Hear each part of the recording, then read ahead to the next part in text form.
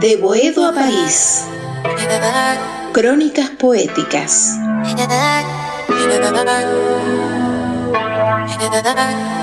La columna de José Mushnik.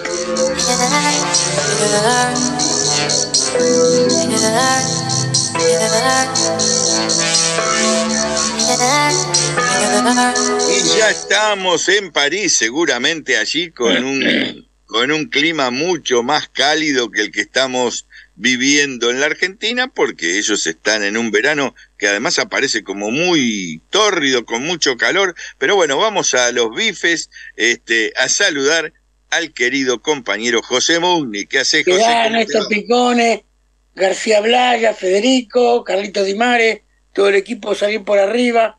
Eh, un gustazo estar con usted nuevamente.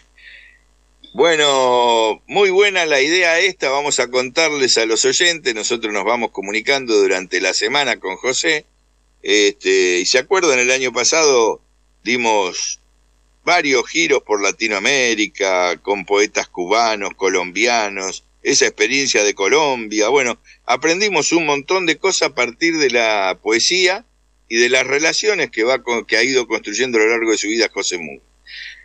Hoy y ya desde la semana pasada, venimos trabajando el tema de Jujuy y José hizo una selección de poemas y tiene una idea que, bueno, me gustaría que la cuentes al aire, nosotros la vamos a apoyar, vamos a ver si, si podemos hacer alguna alianza ahí con el querido Manuquian, ver si podemos apoyar esta idea tuya que me parece muy hermosa, que es apoyar al movimiento jujeño también desde la poesía. José. Sí, la, idea es muy, muy sencilla, es un poema por Jujuy. Es que de todos lados, digamos, desde las escuelas, universidades, niños, adultos, jóvenes, viejos, manden un poema a las redes, pongan un poema, lo tiren, lo tiren a navegar, lo tiren al agua, que flote, que haga ondas, que llegue, porque ya lo dijo un poeta español bastante conocido en su momento, que también quedó como un gran poeta, Gabriel Celaya, la poesía es un arma cargada de futuro. Y bueno, entonces, en, todos sabemos que este 20 de julio habrá una movilización nacional, un ruidazo nacional en apoyo al pueblo jujeño. Todos sabemos que la lucha del pueblo jujeño, y en particular los pueblos originarios de Jujuy, es parte de la lucha de todos los pueblos latinoamericanos y más allá contra estas explotaciones mineras que eh, atacan a sus derechos sobre la tierra y atacan los derechos de la naturaleza, eh, perjudican el acceso al agua, etc. En Ecuador, en Colombia, en el Amazonas, tenemos este mismo problema. Por eso la lucha del pueblo jujeño es una lucha de Jujuy y una lucha con importancia, yo diría, universal en cierta medida, y peso mis palabras. Por eso este, este llamado. Y además, para que cuento algo ahí, para que no quede la información trunca, eh, la organización de Jujuy es el tercer malón de La Paz. Ellos hicieron su primer malón como pueblos originarios en la época de Perón, en el año 46, hicieron una caminata hasta Buenos Aires y lo recibió el mismísimo Perón. Como digo siempre, los resultados están en discusión si fueron buenos o fueron malos, pero la movida del primer malón de la paz dio, los, dio su fruto. Hoy están organizando este tercer malón de la paz, piensan venir a Buenos Aires, ir a la Corte Suprema de Justicia, la reivindicación más importante es dar de baja esa inconstitucional constitución de Gerardo Morales y que, bueno, se intervenga por lo menos el Poder Judicial. Esto es lo que las organizaciones que tienen cortadas las rutas hasta el día de hoy, este, por, son los pueblos originarios, este, la coordinación la hacen a través del tercer malón de la paz y el 20 de julio va a ser un día muy importante porque se ha logrado el apoyo de las centrales, el apoyo de los organismos de derechos humanos y como vos decías José, ese ruidazo. Así que invitamos a todos los oyentes y oyentas a sumarse de alguna manera a esta situación. No está este, eh, terminado el conflicto, todo lo contrario. Ah, por eso hay que incentivar, amplificar todas las cosas que pasan, porque si no, Gerardo Morales va a hacer absolutamente lo que quiera. Bueno. Ahora sí, adelante. Entonces sumamos, es útil esto que dijiste, muy importante, porque abre la puerta a esta propuesta y a decir que es en la voz de poetas jujeños que vamos a participar de esta movilización. Y en primer lugar, eh, vamos a leer un poema eh, de Fortunato Ramos, eh, poeta jujeño, músico, recitador, maestro rural. Creo que todavía tiene su, su peña de Fortunato en Humahuaca, creo que sigue funcionando. Y recordemos que en la apertura de Tecnópolis hace unos cuantos años, creo en el 2013, un niño jujeño recitó este poema eh, de la mano de Cristina Fernández de Kirchner. El poema se llama No te rías de un colla y será interpretado en la voz de el amigo Claudio Hernández. Mil gracias Claudio por esta interpretación y por favor, eh, amigo Federico, lo dejamos que nos pase la interpretación de No te rías de un colla.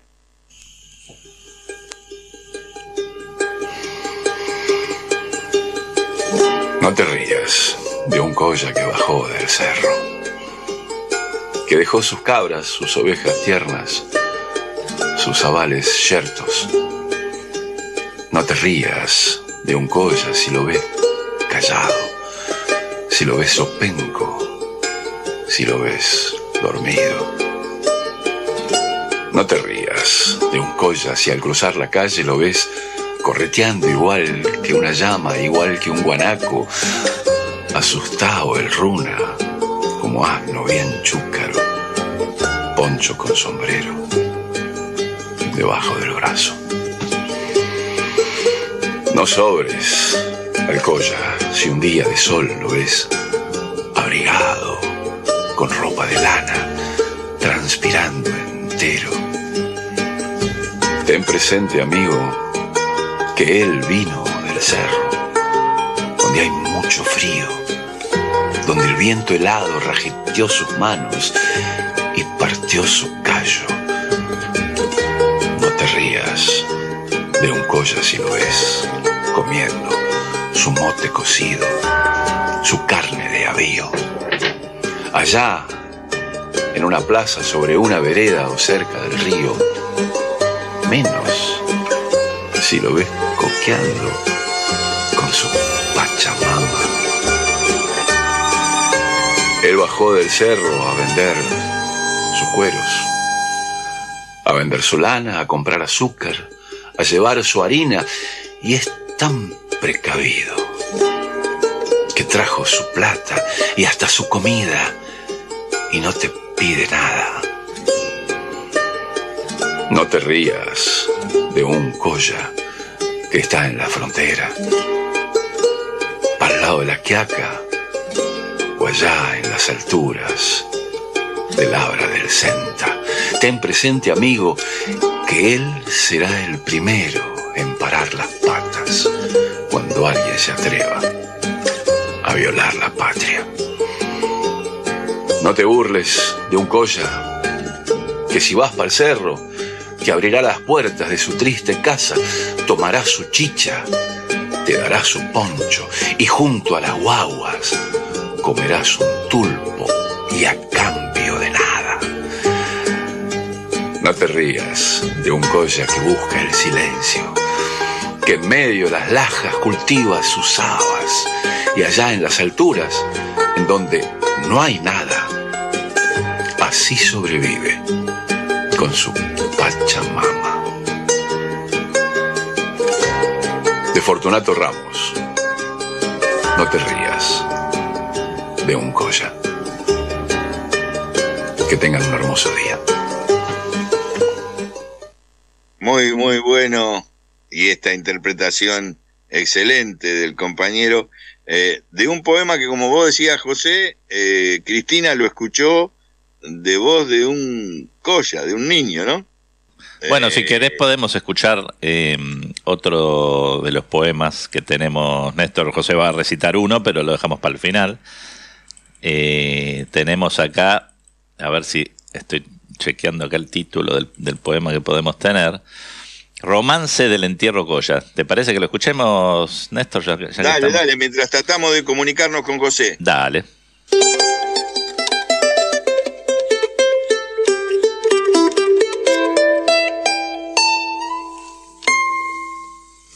Romance del entierro Coya.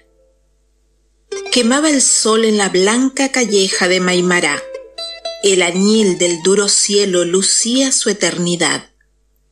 Alfombra tierna de flores iba tendiendo el tuscal, mientras enero dormía su siesta en el pedregal. De pronto, mientras bullía la abeja sobre el maizal, el rojo sobre la alforja y bajo el cielo la paz, por la calle larga, larga, en un apretado haz, pasó la muerte callada, pasó la vida a la par. Delante, la cruz de palo sin nombre para nombrar. Detrás, los indios de bronce, alcohol, silencio y pesar. Cholas de viejas polleras, manos de fogón y erial la vida llevando muerte en un mismo caminar. Rosas de papel y engrudo jamás han de perfumar. Para ayudarlas lloraron las tuscas de Maimará. Rumos de comadres collas falsificando un rezar. Pasó por la calle larga, vida con muerte a la par. Fuera la novia del hombre o la madre, ¿qué más da?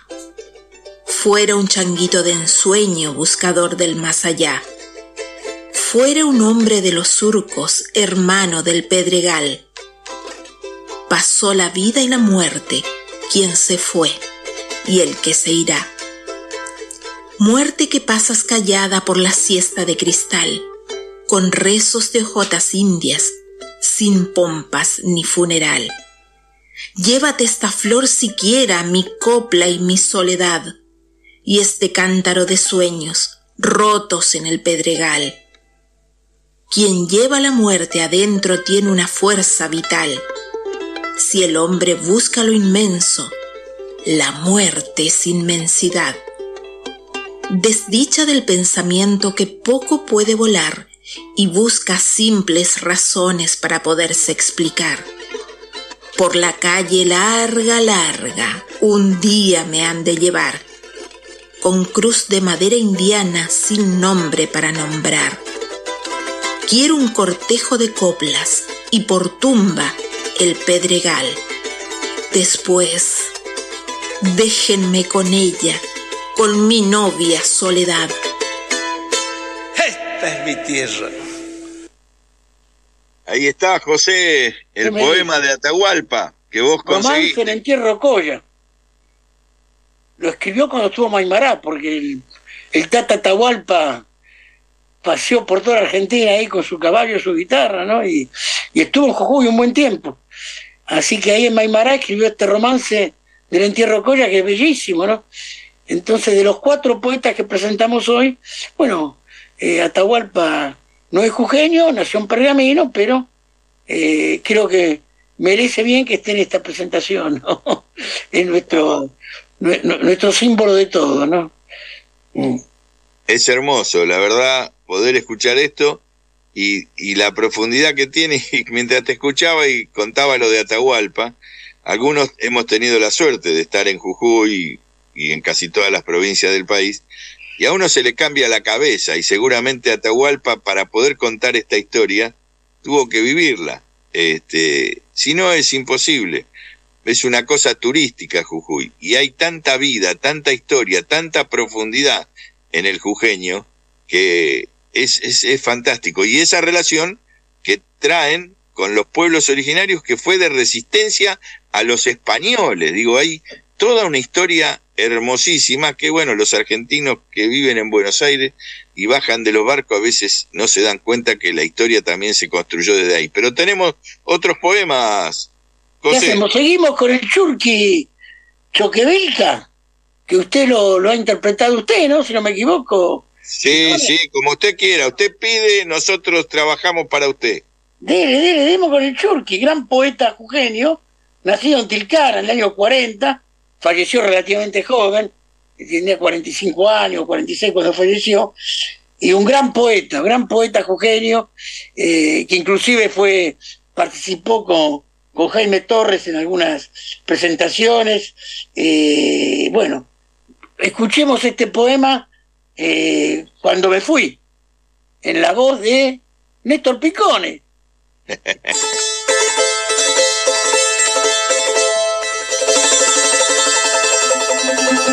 Cuando me fui, con mis manos gastadas de mendigo me alejé de tus pasos sin retorno. Iba hacia el sur, desnudo de palomas, con un sol de maíz sobre los hombros. Bajo mis pies, el vientre de la tierra era un largo horizonte de sonrojos. Me empujaban los pájaros del viento, el herrumbre infinito del otoño. Iba solo de nombres de mujeres, iba envuelto en harapos majestuosos. Quizá buscaba la luz que me negaron en el sol terminal del territorio. Dejaba el clima del hombre sedentario. Era austral la derrota de mis ojos. Llevaba un dios pagano en las alforjas y la herencia de América en el rostro. Crucé el río divisor de latitudes, sobre el relincho espeso de los potros. Allá lejos, un cielo ultramarino limitaba el espejo de mi asombro. Atravesé las urbes de la tierra, la igualdad vertical del equinoccio. A mis ojos, la luz de las ciudades eran selvas de enjambres luminosos. Cuando extendí mis dedos alfareros para entibiar mi sangre en los rescoldos, un abrazo centrífugo de asfalto me arrastró en un tumulto pegajoso. La vorágine gris del mecanismo reclamaba un esfuerzo poderoso dejar el alma detrás de los suburbios y guardar el rebaño de los lobos. Reconquistar el sol, las libertades, fue a regresar en sueños al otoño. Recuperar mi credo americano, fue reunir en silencio mis despojos, decir adiós al hombre programado y perderme en los cielos anchurosos.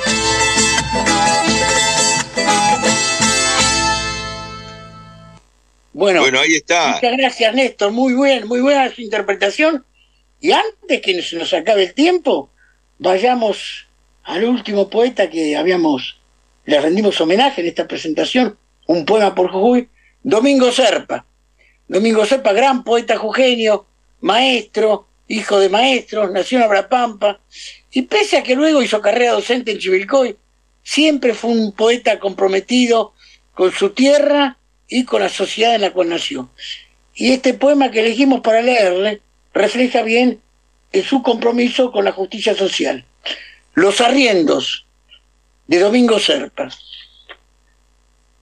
Hace varios años, señor Tata, señor cura, que vengo escuchando tu sermón de Pascua. Cada año la misma procesión de Oriente y la misma queja que se va del alma. Cada año la tierra desnuda y sedienta nos quita el granero, nos priva del agua. Y en la altiplanicie, pastores y arrieros, bebemos las gotas piadosas de tu habla. Amados hermanos, nos dices, sumiso, amados hermanos, tengamos paciencia, recemos por todos un Ave María. Roguemos al cielo por nuestras haciendas. Amados hermanos, repiten los cerros, como conmovidos por nuestras plegarias. Hasta las estrellas tiemblan más medrosas y la luna llena se pone más blanca. Hace varios años, señor Tata, señor cura, que vengo escuchando tu sermón de Pascua cada año las mismas gotas de mis ojos y la voz que triste muere en mi garganta. Mas hoy ya no puedo quedarme en silencio. De adentro me dicen que grite con ganas. De adentro lo tengo, señor Tatacura, mis padres ancianos, mi esposa, mis guaguas. Los otros, quién sabe, tal vez no los tengan. Y si los tuviesen, yo no digo nada. Solo Dios, que es grande, dirá si merecen guardarles respeto, mirarles la cara. Ayer por la tarde llegaron al rancho con botas lustrosas y espuelas de plata. A mi cachito que salió a torearlos, de cuatro balazos tiraron la antarca.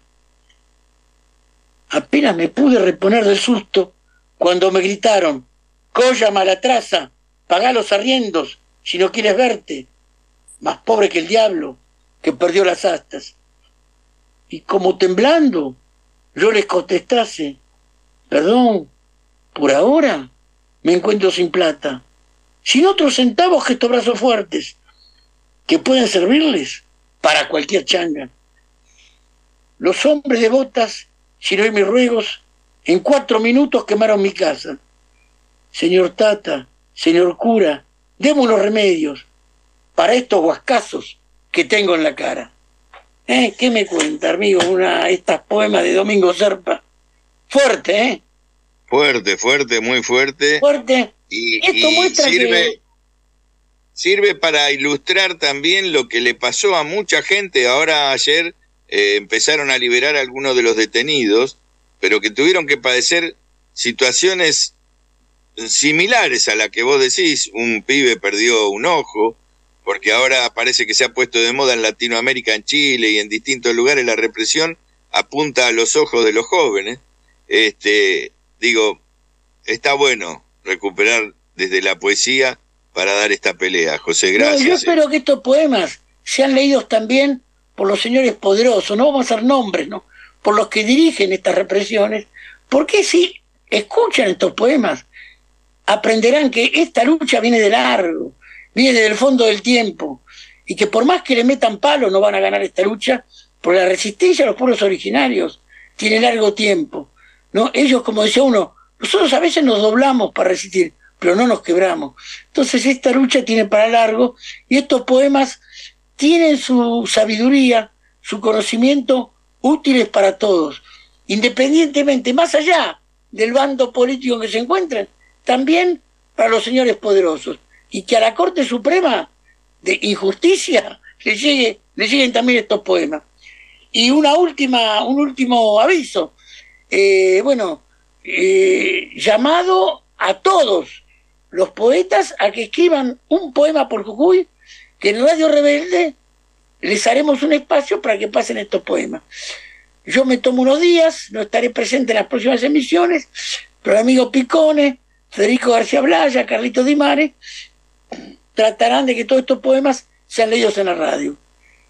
¿Está bien así lo que dije, amigo Néstor? Muy bien, muy bien. Y vamos a hablar también con Manuquian de, de. Repasemos los, los poemas que se leyeron. Así agradecemos a, a todos. Y leímos, Leímos el poeta No te rías de un colla, de Fortunato Ramos, leído por el amigo Claudio Hernández.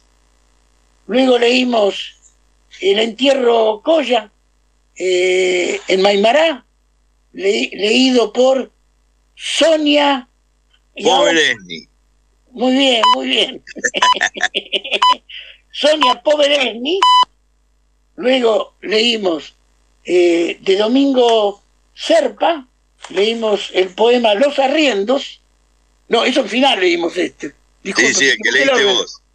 No, leímos en tercer lugar el poema que leyó usted de El Churqui Choquevilca, cuando me fui.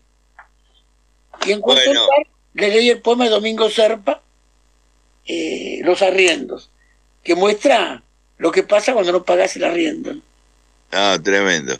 José, Mulnik, muchas gracias por esta iniciativa, la verdad que ha sido emocionante y nos conmovió desde ayer que nos pusimos a trabajar para leerlo de la mejor manera posible, respetando al poeta y respetando al pueblo jujeño. Un abrazo. Que... A, que, a, que, vayan a, la, a, las redes y busquen, busquen Churqui Choquevilca, busquen Domingo Serpa, busquen todos estos poetas, busquen Fortunato Ramos y vendrán y descubrirán cosas. Porque es impresionante lo que uno no conoce. ¿no? Así que bueno, este es el último llamado.